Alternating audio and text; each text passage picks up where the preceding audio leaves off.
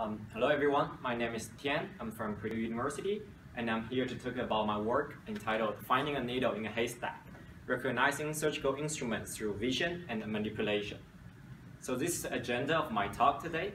I will firstly give you an introduction of the work and do some uh, related work literature review and then I will move into the methodology part and then uh, the experiments that we conducted, the conclusions that we found, and some future work. So firstly, finding a needle in a haystack. If I may ask, how many of you actually have tried to find a needle in a haystack? Not excellent, because it's not fun. There are a lot of challenges in this problem. For example, impaired vision. You cannot really see through a haystack. You have a great object similarity because the hay looks very similar to the needle. And if you just use your hand to try to search for it, you might get hurt. So that's the challenge. And unless you have some very fancy tools to find it, what you need to rely on is actually using vision and manipulation. So basically you see with your eyes and then use your hand to feel the difference between the hay and the needle. So that's finding a needle in a haystack. Now let's look at the problem that we are trying to solve, recognizing surgical instruments. If we look at it, there is actually a lot of similarity between this and the problem of finding a needle in a haystack. You have impaired vision because the instruments are often cluttered, occluded, and displaying a specular light. And you have a, a, great object similarity because all these instruments almost look identical to you. They're actually not. There are like 20 types of different instruments here. And you can just not rely on uh, hand because you might get caught by this scalpel. So what do we do? We actually propose an algorithm to use a hybrid vision and manipulation approach to solve this problem to just give you a, little bit background about why we are doing this. So we are trying to build a robotic scrub nurse which can basically help the surgeon to do the uh, surgery. This can basically uh, re um, replace the nurse because why? Because there's a great short, short problem of the nurse shortage. Uh, it's not a fun job to do sometimes and it has led to bad consequences in the operating room such as communication errors, um, extended surgery time, so it's not very fun, uh, and then we're trying to build a robotic application to solve this problem. Some specific aims that we have in this application would be to localize and recognize all the surgical instrument on the Mayo stand, to robustly uh, grasp the surgical instrument um, using a, a gripper, using a robot. And the last part is about the human-robot interaction, how the robot can communicate and understand the surgeon's communication cues to collaborate in a proactive manner. That is not the focus of this work. It has been addressed in our uh, previous publication. And I do want to mention that even though we are focusing on the operating room, this has a lot of similarity with some similar problems. For example, in a assembly line, when a robot is trying to help a human to uh, assemble parts, uh, it's basically similar specific aims. And another example would be in a healthcare scenario where uh, a robot companion companion wants to grab a, a, cup of soda and deliver it to you. It's very similar. So uh, once we solve the challenges here, it can be actually used in many other scenarios.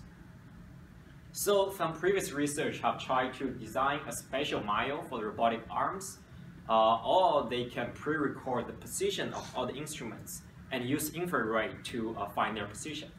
And also people try to post-attach QR codes or barcodes on the instruments. We don't like this because it will require an upgrade of the current system in OR. We, we just want to keep it uh, the current way so that we can seamlessly integrate our system into the current OR setting. So the core uh, problems that we're trying to solve here uh, mainly consist of three parts. First, segmentation. How can we segment the surgical instruments from the background, from the Mayo?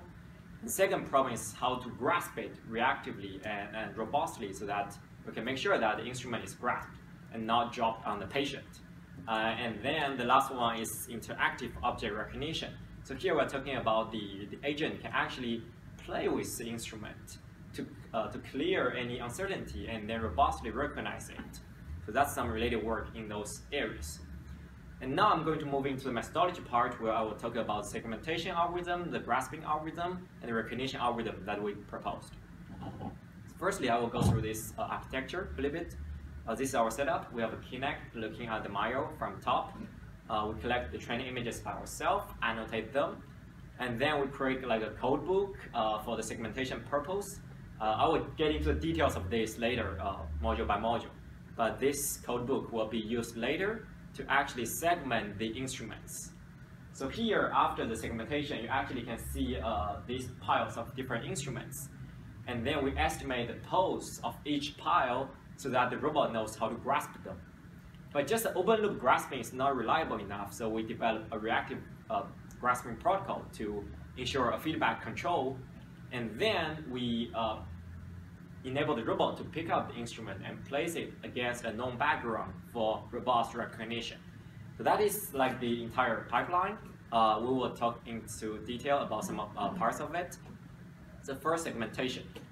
So it has four parts. Let's go through them one by one. I will try to make this fun and make you not fall asleep. So first step is to extract the Mayo tray. We have a Kinect sensor placed on top. It will deliver a color image and a depth image for us. And then we do kind of adaptive threshold on depth image to get the foreground out and then we do a contour analysis to get the, um, the manual step because it's most time a rectangular shape. So that's the output of this step. And second step is trying to actually build a code book for the uh, foreground and the background. So we, this is a training image that we have. It has color, depth, and the labels that we add, uh, manually make. Uh, we basically develop a patch-based uh, segmentation algorithm. So we firstly randomly draw patches from both the the foreground class and the background class. Then for each of these patch, we do uh, create features to describe them. These features include like hog features, like color features, all this kind of stuff. And then there are too many of them, so we do a cluster. We use a Gaussian mixture model to cluster the features for each uh, type of, of class, like foreground and background. And then for each cluster, we will build a codebook. So this codebook so all these images, uh, so the, the cyan part is the foreground and this is the background part. So all the clusters in the image, we will use that to get a color histogram, which will be the codebook entry for this cluster. And also there's a weight that is associated with this codebook entry. That weight is basically how important, how frequent this thing appears out of all. And that is the, uh, the weight that we are um, using for the Gaussian mixture model. So at this step, we have a codebook for both the foreground and the background. That is the output of this step. And next step will be segment, uh, segmenting. So we basically given a pixel IC XY, we want to estimate the probability that it belongs to either the foreground or the background. So basically we want to estimate the red part. We do a map estimation using uh, basically to do a prior and the maximum likelihood. We estimate the prior using relative frequency. Uh, it's basically counting how frequent it is, the foreground or the background the maximum likelihood was estimated through a marginalization over all the codebook entries that we just generated from the previous step. The, uh, if you remember, the codebook has two parts, the weight and the histogram. So we use the weight uh, to approximate this probability, and then we use a color histogram and then a histogram back projection to estimate this probability. So after that, we are using the codebook and then we can estimate the uh, likelihood, and then we can estimate this probability. And the segmentation will be very straightforward. We just compare the probability that is the foreground against a background, and then we compare that with a threshold, uh, which is a hyperparameter that we will use later to, uh, to do experiments. At this step, you will get this kind of result, that, that is the mask for the foreground. So the next step will be actually for each pile of instrument, we'll estimate the pose of it so that we can generate an initial grasping strategy for the robot to pick it up. So what do we do? For each pile, we use Hough lines to find all the uh, orientation. We do a majority vote to find the major, sorry, to find the major uh, direction of this, and then we find the perpendicular direction uh, um, line, which is like a, a, a depth profile scanning line. We want to see how the depth changes, varies on this uh, perpendicular line, and that can help us to determine whether this instrument is flat or tilted.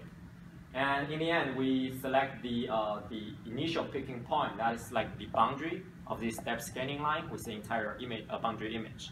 So that's the initial picking point, and then now the robot has an initial strategy to actually go and pick it up. So that, is, that concludes this uh, pack segmentation part. And then now we will move into the grasping part. So uh, we built an electromagnetic gripper so that we can uh, use it to pick up the instruments. We built some drivers, both analog and digital, using Arduino, very straightforward to drive this. And then we uh, use serial communication to talk to a high-level C++ program to actually do all this control. So this is what the magnet gripper looks like. Uh, it's a prototype, so it's not too fancy. I made this. Um, and then this is a system diagram to show what it is. Blue part is the gripper, and the orange part is like the wrist of the, uh, uh, the uh, robot. And the red dots are the important. The red dots are the four, four sensors that we placed between the wrist and the gripper. And we basically developed a reactive grasping protocol based on the readings of these four, four sensors. You can ignore all these mass. The basic point is that we want to basically generate an evenly distributed force among all the four sensors so that we know it is a perpendicular contact between the gripper and the surface so that that can help us to increase the picking success rate. If you look at this image, there are four uh, uh, force readings. We estimate the plane which is uh, basically passing through them and then we get a normal direction of this plane, which is the purple line, and the arrow between the purple and the z-axis is the arrow information that we use to do reactive grasping. So that is the uh, reactive grasping part. So now the robot can grasp the instrument and place it against a known background so that we can perform a very robust recognition. So now I'm going to talk about the recognition part. Since we know when there's no instrument, and when there's an instrument on the recognition path. We can do a very uh, good background subtraction.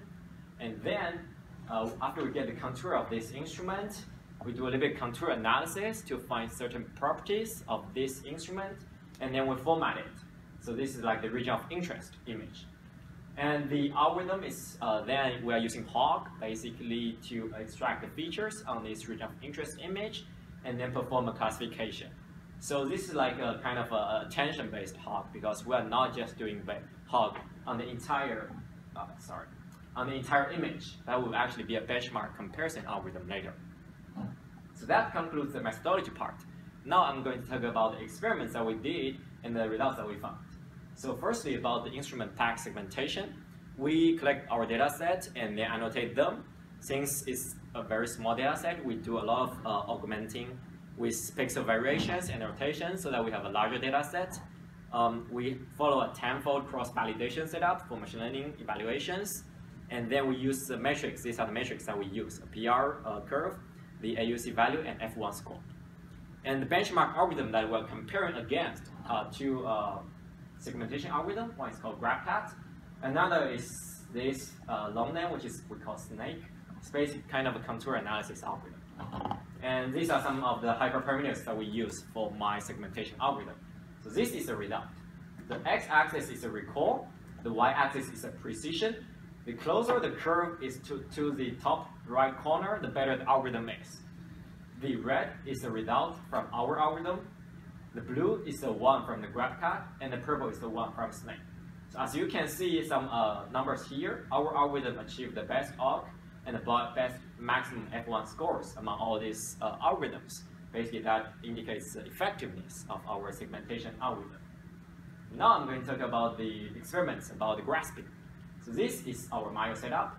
We have five different sets of instruments, and the robot is required to grasp each one of them 10 times using the result of the previous image processing module. And then we have two groups. One is uh, the red, which is open loop grasping, it is only using the grasping point that we got from the image processing pipeline. And then the blue one, which is using the, uh, the protocol that we generated, which is basically having a feedback, a, feed, a closed loop feedback control to actually grasp it. And uh, the, the, uh, the x-axis is all the different instruments, and the y-axis is the success rate. The higher, the better. So as you can see, our algorithm uh, is better than the open loop it's not a surprising finding. Of course, if you have some kind of feedback, you can do a better job. And we actually conduct a paired t-test between the success rate of the two algorithms and find a significant difference. So lastly, let's talk about the recognition experiment. Uh, the data set we collected by ourselves, we have the five different instruments uh, placed against a Mayo. Uh, again, we do uh, a lot of augmentation. We do label preserving transformations because uh, our data set is not very huge. We want to get more data so that um, the algorithms won't be uh, like uh, overfitting. uh, also we use a five-fold cross-validation. So then the three benchmark groups are these three. So the blue one is basically EFD. It's basically you do a Fourier analysis on the contour of this instrument, and then you use a Fourier coefficient as a uh, feature for that. And the second type is basically hog. If we don't have any context information, we'll just do hog on the entire image. And last one is the one that we propose, which is kind of like a region of interest hog, which is we do hog only on the, um, the object that we have already uh, centralized. So this is the result that we got. So the x-axis are some very conventional classification algorithms, linear SVM, RBF SVM, decision tree, random forest, boost. The y-axis is the recognition accuracy, the higher the better. The three different colors represent the three different methods here. So I can steer your attention to this max, which is basically the best um, out of all these five different classifiers. And you can see that our algorithm, which is the yellow part, uh, outperforms the other two. So that's kind of uh, uh, showing the effectiveness of this recognition algorithm. And I want to mention that this is heavily based on this uh, context because we know that the surgical instrument is kind of having this shape, so we already know that there's something like that there, and then we uh, steer the attention of the feature extraction methods towards that part. So finally, the conclusions. So we developed a robotic scrub nurse system uh, to solve the nurse shortage problem. Um, so we proposed effective segmentation, grasping, and recognition algorithms to make it happen. So we did a lot of uh, experiments uh, and then compare and see, show the effectiveness of all these algorithms. Uh, you will forget all these numbers, but most importantly, you will remember that when you have a robot and you want to do computer vision, why not leverage on the robot? Why not make the robot play with the instrument and then do more robust recogni recognition? So that is, uh, I believe, that the take-home message. Like if you have that capability, uh, leverage that, and it should, uh, it definitely will help. So some future work, definitely we want to increase the type of instruments because that's there are much more than five. Uh, we want to do kind of a, a peaking stability test because even though we're better, we're like 93 average peaking success rate. It's not perfect, and you don't want that 7% to happen on you when you're doing a surgery. Uh, and last, very important is to do motion planning to ensure a safe delivery and also do uh, like a, a, cooperative human robot interaction. That is uh, my focus right now. So uh, I would like to thank you all for your attention and thank our um, funding agencies and I will be happy to take any questions. Thank you.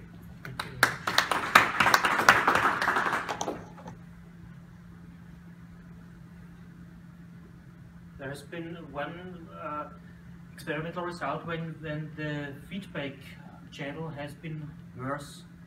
No? Back again. Here. Hmm? So the retractor has been. Yes. Mm -hmm. Why? Can you explain why? Ah, okay. so the retractor, first of the retractor is this. Mm -hmm. Um, I believe that the reason is that when so this thing is very heavy, so that's actually the major reason.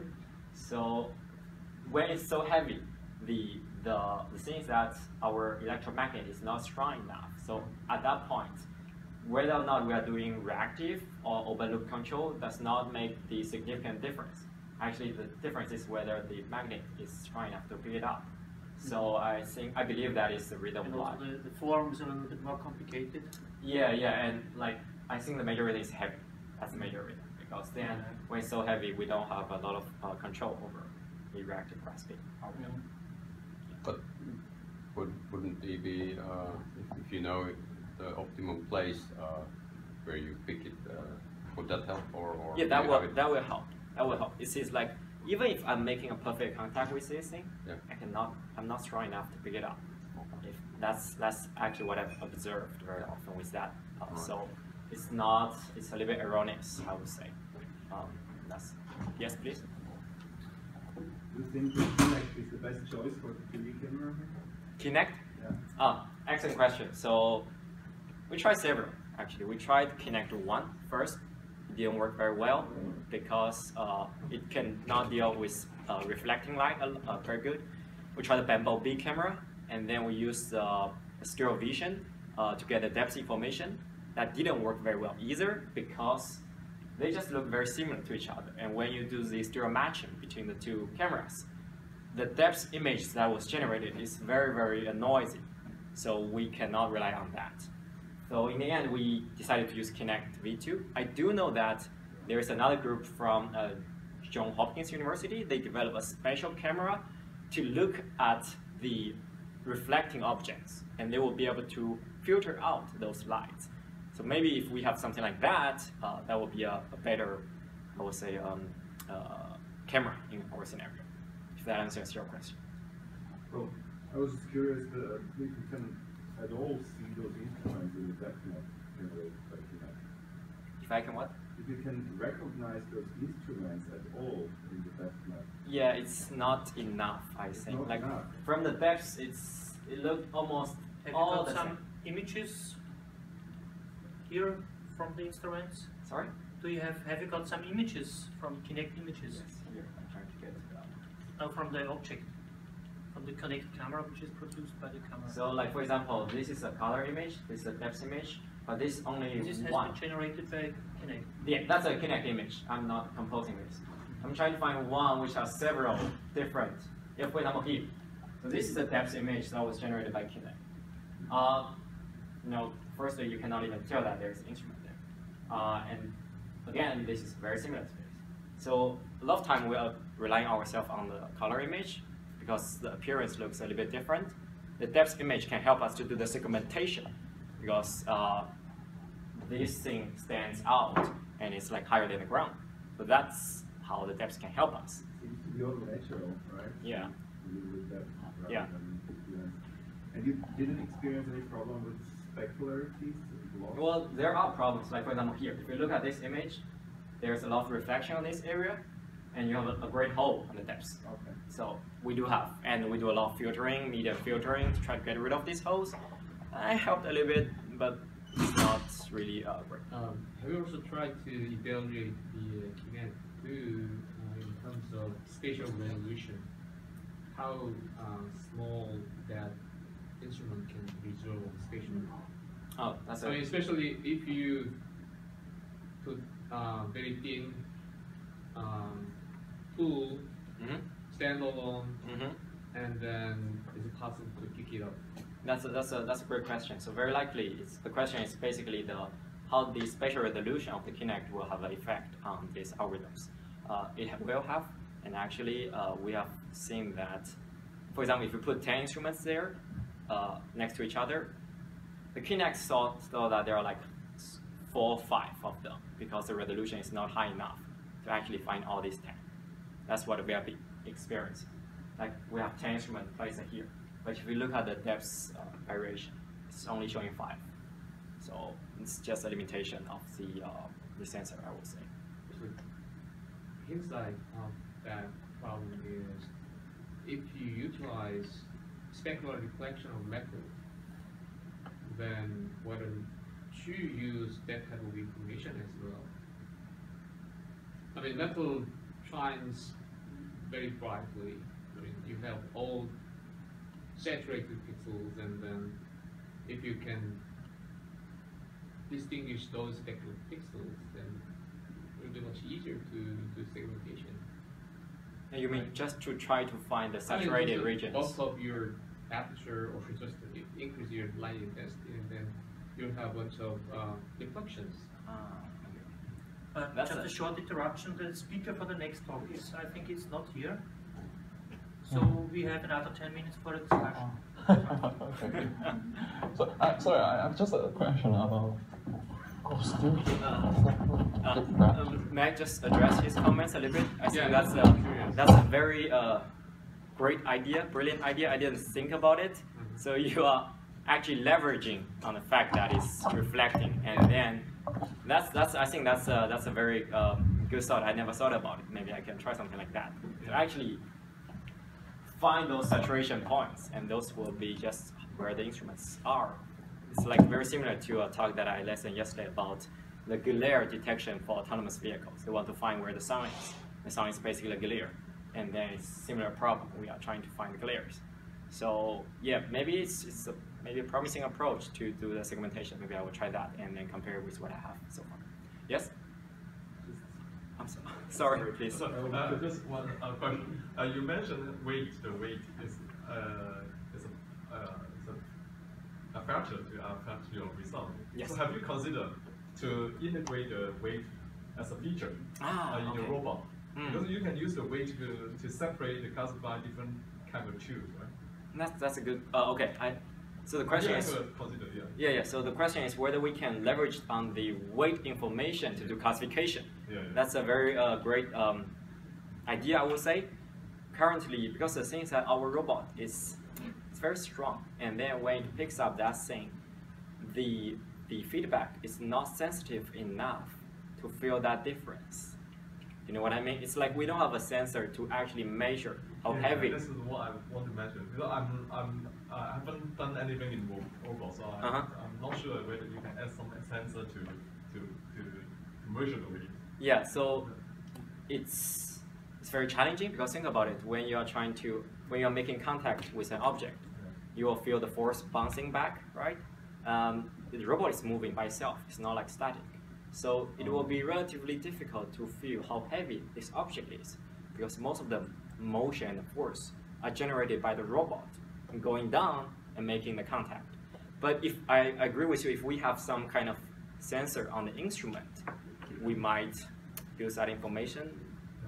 Um, but yeah, if, if definitely that information would be really, really helpful for the classification uh, on top of the uh, visual algorithms. Thank you. You have a question? I just had an idea how to cope with the specularity problem. Uh-huh. Like, you know, you are indoors, and actually there you can control a lot regarding the illumination. Mm-hmm. And basically you can suppress specularity by use of polarizing filters. Mm, okay. So actually you can use polarized illumination differently, oriented polar- polarizer on the camera, Mhm. no problem with loss. Yeah, so that's an excellent idea, and that is exactly what I mentioned before, like the John Hopkins University, they are working on that. They basically have a special setup uh, and have like polarized filters so that they generate the, the specular light, uh, and then the receivers actually have those orthogonal filters so that they don't get any reflection on the image that we, they And generate. with metal objects you have problem that if you suppress loss too much you get black objects. hmm Basically you get no reflections.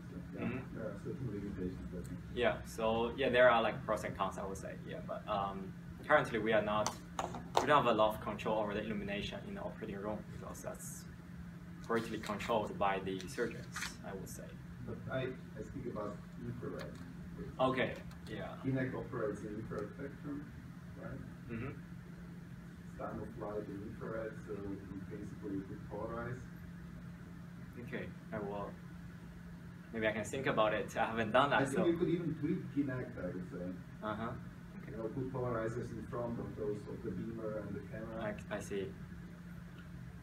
Okay, yeah, maybe that, that's that's what's they're trying. I think. Yeah. Good. Any other questions?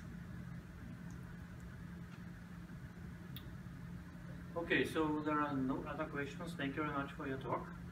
Thank you. And uh, yeah, so we have either I start immediately or I adjust within five minutes. No, Because to be on schedule, Yeah, I, I think. I will start in five minutes with my talk.